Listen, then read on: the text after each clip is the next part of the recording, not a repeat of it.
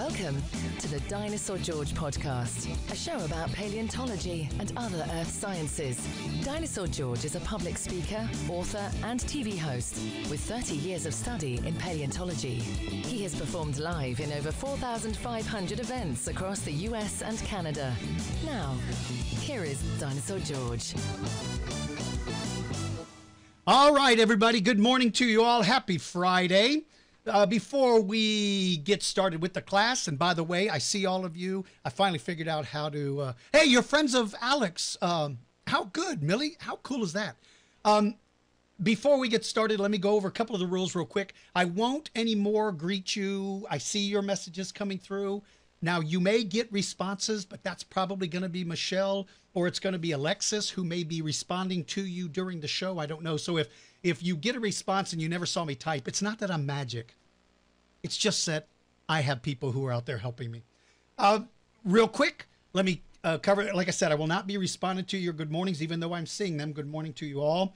Uh, Alexis and Michelle have added some worksheets on the Dinosaur George Jr. page, the page that you're on if you're watching this live. You can download those and print those and use those for the end of the show. Also, we're going to be solving a mystery. And that means that if I were you, I would have a pencil and paper nearby because I will be throwing out clues. And at the end of this class, we're going to be solving it. So you need to pay attention to this class. No sleeping in class, Alex. All right. Uh, real quick, let's talk about the announcements. Here is the schedule for the upcoming weeks on April the 7th. That is a Tuesday at 10 a.m. Central Time, same time as all classes. We're doing a class on prehistoric mammals. Now, in that class, I'm going to have skulls. I'm going to have some really cool stuff to show you. I will show you some skulls of saber-toothed cats and some giant dogs, and uh, I might be able to fit a bear in here. But I'm going to show you some, and a killer bird. Ooh, I'll bring a killer bird skull. So I'm going to be showing you some really cool stuff. On April the 10th, it is a show, a class dedicated to the king of the dinosaurs, Tyrannosaurus Rex nothing but T Rex. When you get finished on April the 10th, that's a Friday, when you get finished with that class, you are going to be an expert on all things Tyrannosaurus Rex. And then on April the 14th, that is a Tuesday, I'm doing a class on adaptation, dinosaur adaptations. But included in that, I'm going to talk about modern animal adaptations to demonstrate to you how modern animals adapt to their environment, just like prehistoric animals. So in adaptation, I'll talk about how the animals uh, evolved to be able to eat a certain plant, how plants may have changed, how animals adapted to a changing environment, how animals adapted to new predators. So it's going to be a, a, very fun class, and I think you will like it. Uh, real quickly, we are running a 15% off everything on the website sale. Unfortunately, we only ship in the US. I am so sorry for all of my friends overseas. I, I'm so sorry, but we just can't ship uh, outside of the U.S. But uh, in it, you get 15% off of anything, but you've got to put uh, 15% off of everything. But you have to make sure to put in the promo code Dino George, D I N O G E O R G E. Don't forget to put in that promo code, and all purchases at $25 or more is free shipping as well. So it's a great time.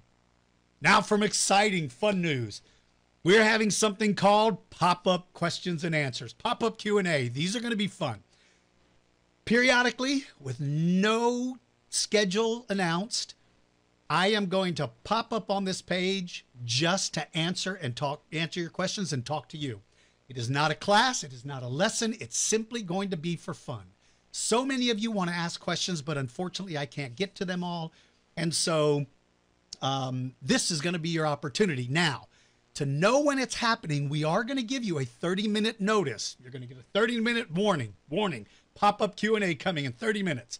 You will get a 30 minute warning. That will give you time to grab a pencil and paper, write down all the questions you want to ask and get ready because when I pop up, I don't know if I'm going to stay for 5 minutes, 5 hours, 5 days or 5 years.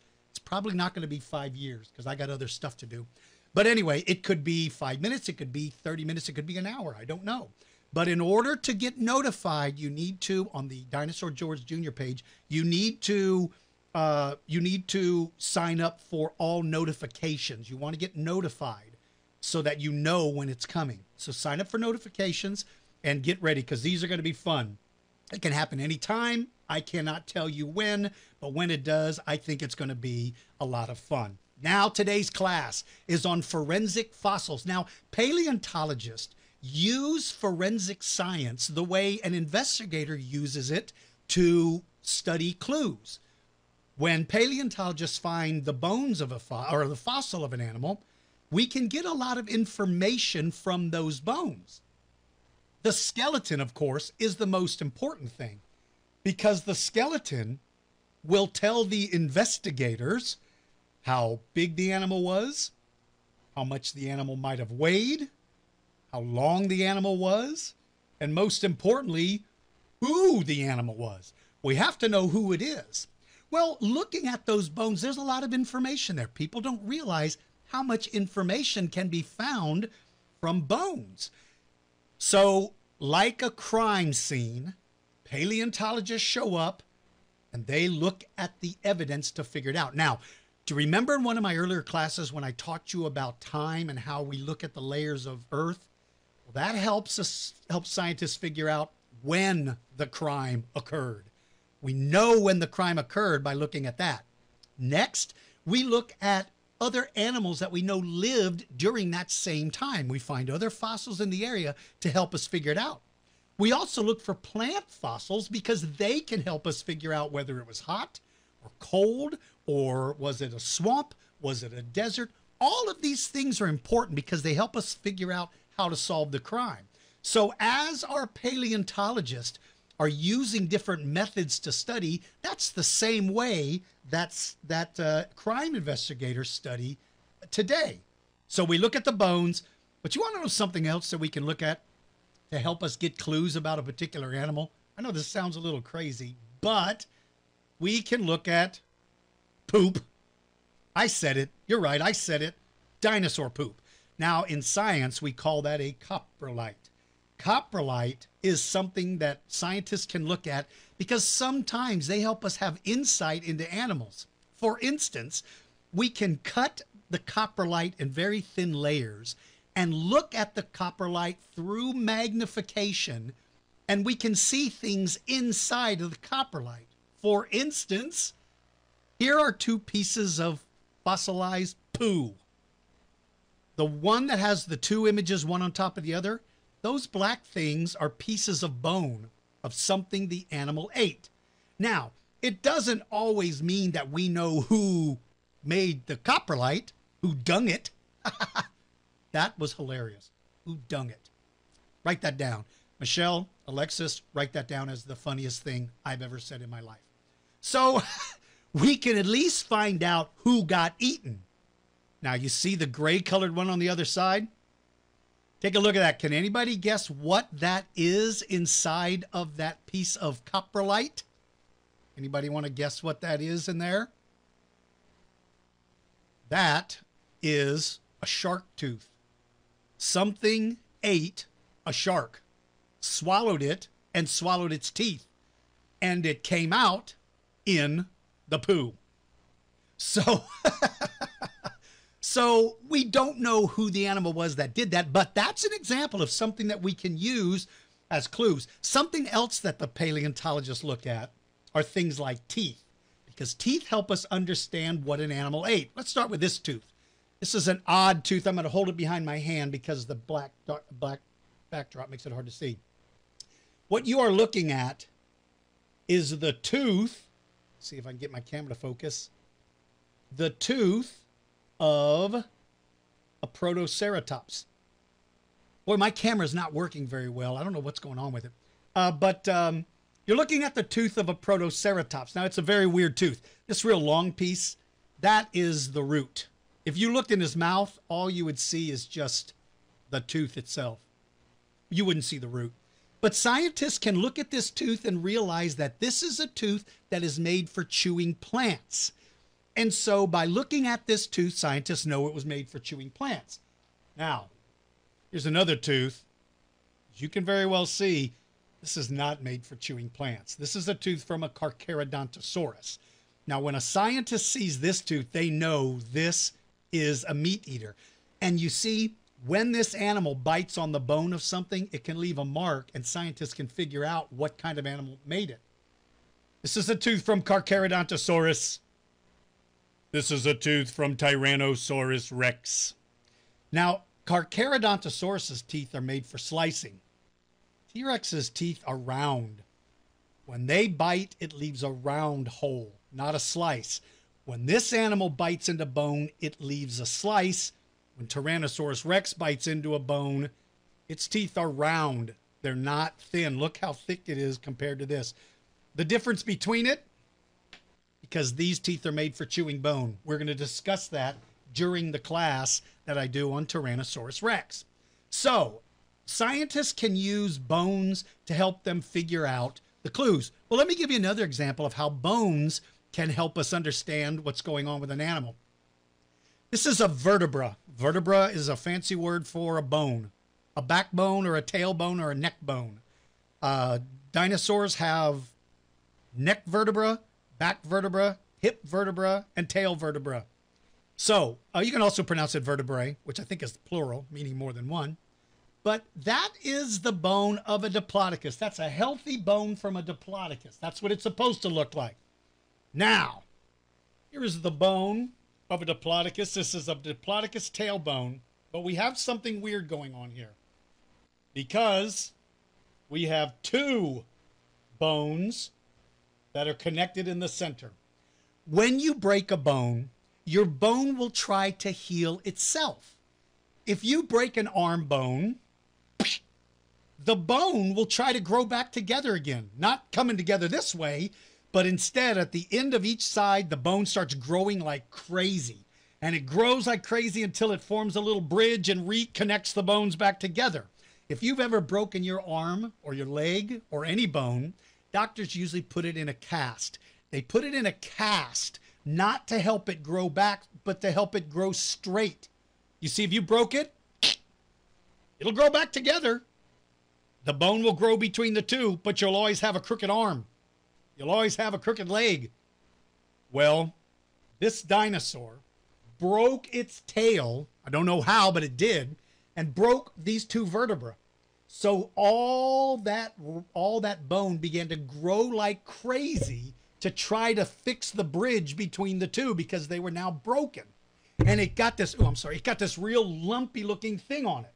So these are signs of healthy vertebra. This is the sign of a broken vertebra. Well, there's other bones that we find that are broken and healed. For instance, that is the toe bone of a triceratops. This is a toe bone from a triceratops, but it looks way, way different. See how smooth and clean that bone looks? Don't pay attention to the color. The color of the fossil is determined by the color of the dirt. But look at the look at the texture of the bone. That's the healthy bone. Here's the bone I'm holding in my hand.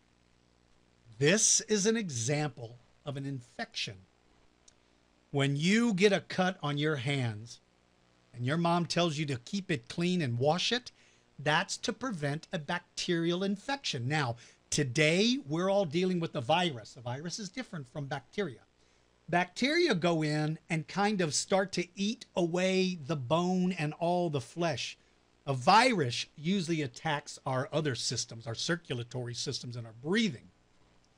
Well, here's an example of a toe bone from a very sick little triceratops that had an infected foot. We can find that in the fossil record. Now, this one's not going to make sense because I don't have a picture of a, what a healthy one looks like. This is the toe bone of a stegosaurus. This is found in Utah. This is the toe bone of a stegosaurus. Again, you see all of the strange bumpy shape. It should have been smooth like the um, like the bone I showed you there. Doesn't look exactly the same, but it should have been smooth. But all of these little marks are all marks where something had been, uh, where an infection occurred. Now, we also find fossils that uh, that show things like, like I said, bite marks, claw marks. All of that stuff can be found. Let's talk about bite marks here. Now, this is a Tyrannosaurus Rex toe that was bitten into it by a very powerful tooth. In fact, the close up you see is the very tip of the tooth that bit into this. Now, closer inspection told us that that was a Tyrannosaurus rex that attacked another one. T Rexes attack other T Rexes. So here's an example of a toe bone that was being chewed on by another T Rex. And speaking of our friend T Rex, they even found a Triceratops backbone vertebra with teeth marks that fit the teeth of a Tyrannosaurus rex. So, like scientists or like uh, investigators do today, like investigators do today, they use the clues around them, including the skeletons, the location, all of the clues they can find to help them figure out. So, for instance, with that Triceratops vertebra I just showed you, first they found the Triceratops. So they immediately knew what time period it lived in, and they immediately recognized that on that one bone, there was something there that didn't belong. You can tell the difference between a healthy bone and a bad bone by looking at it.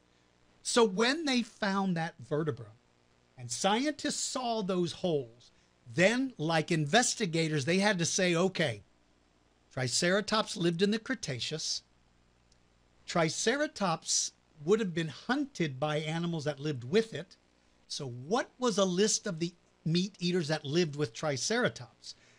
Albertosaurus, Daspletosaurus, Dromaeosaurus, Tyrannosaurus.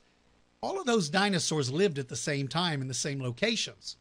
So, they had a list of suspects. What's the next step? Look at the hole in the bone and look at the shape. Now, if the tooth mark was a thin, skinny line, that would probably rule out Tyrannosaurus rex because he has round teeth. You couldn't, now this tooth could make that mark. This is from a dinosaur named Carcharodontosaurus. He lived in Africa. He didn't live there. Couldn't have been Carcharodontosaurus. Could it have been a raptor tooth? Well, the bite would have to be tiny and would a raptor be strong enough to bite into the bone of an animal without breaking all of his teeth off? You've got to be, have very strong teeth. So scientists said, okay, don't think it could have been a raptor. Let's take him out. We know it couldn't be a couldn't be Carcharodontosaurus because his tooth shape is different and he doesn't live at the right time. Could it have been Daspletosaurus? Maybe, but his teeth are more thin. Could it have been Albertosaurus? Maybe, but his teeth are even thinner. Could it been could it have been Tyrannosaurus rex? So that became the focus of the investigation. And then by matching up the teeth of a Tyrannosaurus rex to the vertebra, then we know that that vertebra was bitten by a Tyrannosaurus rex who had a round tooth and was strong enough to bite through bone. Now we find other injuries as well. These injuries are caused by other kinds of weapons. Now, first, let's talk about something called a defensive weapon. A defensive weapon is something an animal would use in order to protect itself from being attacked. Defensive weapons come in all different shapes and sizes. There's spikes from the tail of a stegosaurus, there's a big round club from a dinosaur like Ankylosaurus, and of course, there are the horns of a dinosaur named Triceratops. Those are example of defensive weapons. Sometimes we find dinosaur bones that have evidence that a, that it was a defensive weapon. It's not always the meat eaters that leave marks on the bones. It can be plant eaters. And these are an example of some of the different plant eaters who could have left marks on the bone. And of course, other marks on the bones are found by offensive weapons. Offensive weapons are things like we talked about teeth, claws. Uh, the black claw is a hand claw from an Allosaurus. Small claw at the bottom is a killing claw from Velociraptor. And the medium sized brown claw, that's a claw from Deinonychus.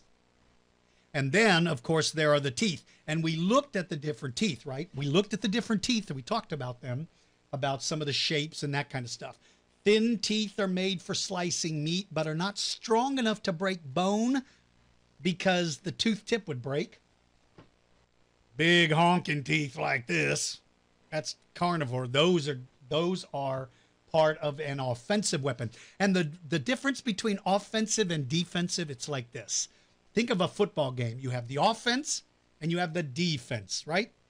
The defense is trying to stop the offense who's coming at them. So, offensive weapons are used to come at you. Defensive weapons are used to stop you. Defense. Defense. I need to hold up that little sign with a D and then a fence. Okay, what were we talking about?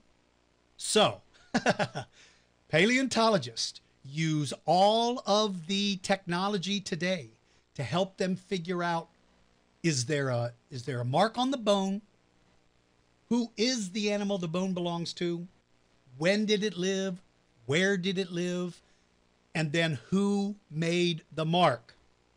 So, taking all of that stuff into consideration, ladies and gentlemen, it is time for us to solve a mystery.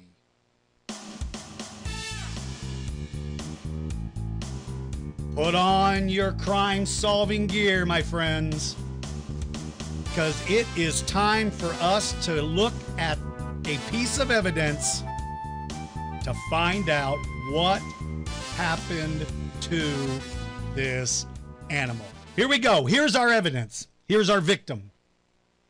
It is Tyrannosaurus rex. Now, this is not a full grown Tyrannosaurus rex because I couldn't pick up a full grown Tyrannosaurus rex skull. So I'm using this model of what a little baby looked like. Now, this is the back of the skull. There's his nose, head, back of the skull. Okay. See that little round thing right there? That little round thing is called the occipital condyle. Occipital condyle. That's where the neck connects. The reason why it's round, the little neck vertebra connected, so that when he walked around, he could move his head. See, if it was if it was not round, he couldn't move his head up and down. So that's called the occipital condyle. All right, get ready, because you're probably going to hear me scream when I pick this thing up. All right, I'm going to show you the actual back of the skull of a Tyrannosaurus Rex. Take a deep breath, everybody. Here we go.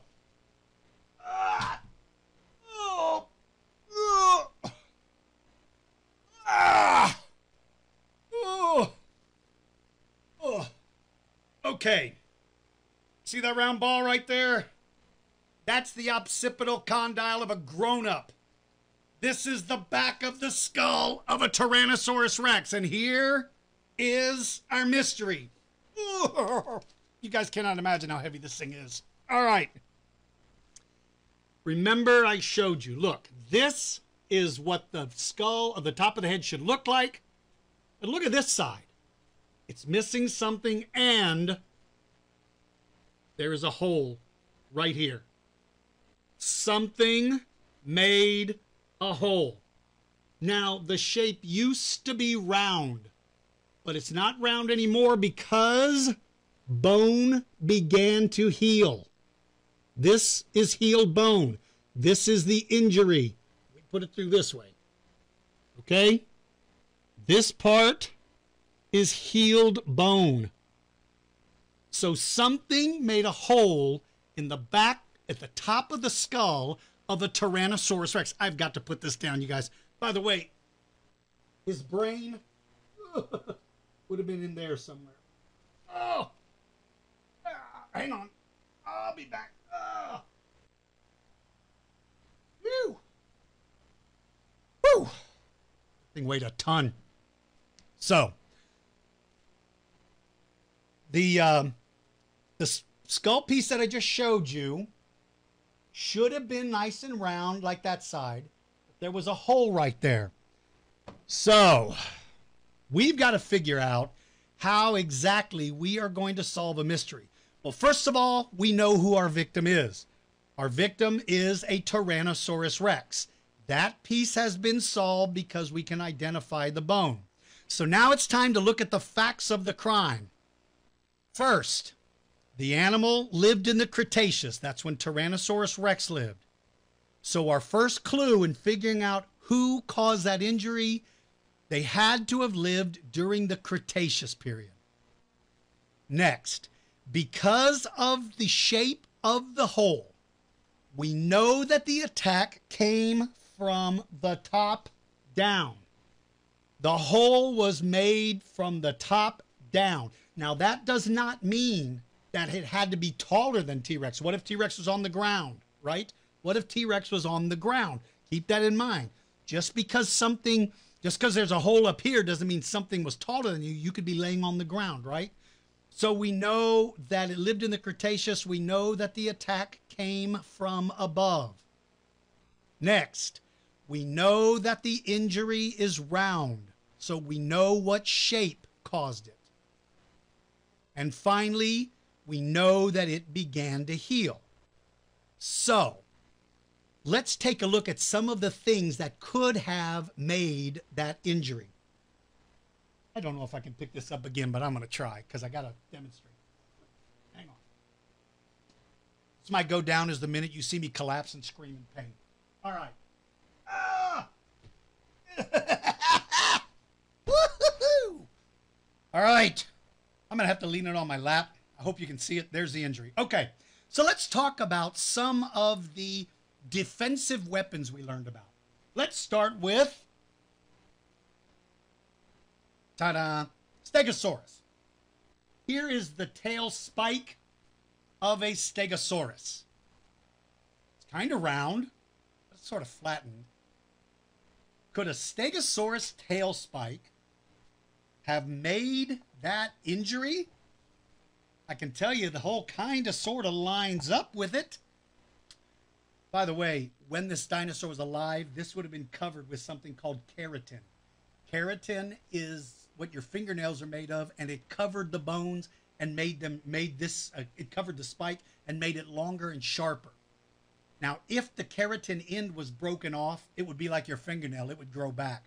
If they broke the bone, that wouldn't grow back. So, this seems to be the right shape. Now, the question. All right, I simply cannot hold this anymore. It's crushing my legs. Hang on. Uh, uh, uh. Okay. So, the shape seems about right. What about could that tail have been used to make a hole in the top of T Rex's head? Maybe. Like I said, what if T Rex was laying on the ground? So, could it have been Stegosaurus? When did Stegosaurus live? Did he live in the Cretaceous period? with T Rex? I don't know. You figure it out. Next, who else could have made it? Whoa! What about Triceratops? What about Triceratops? Here is the horn of a little Triceratops. This is sort of a baby. Certainly has the right shape. Now, the keratin covering would have made it longer and sharper.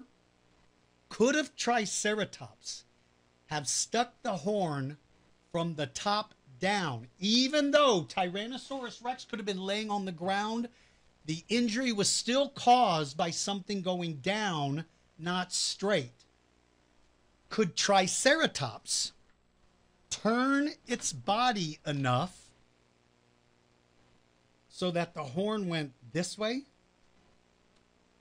I don't know.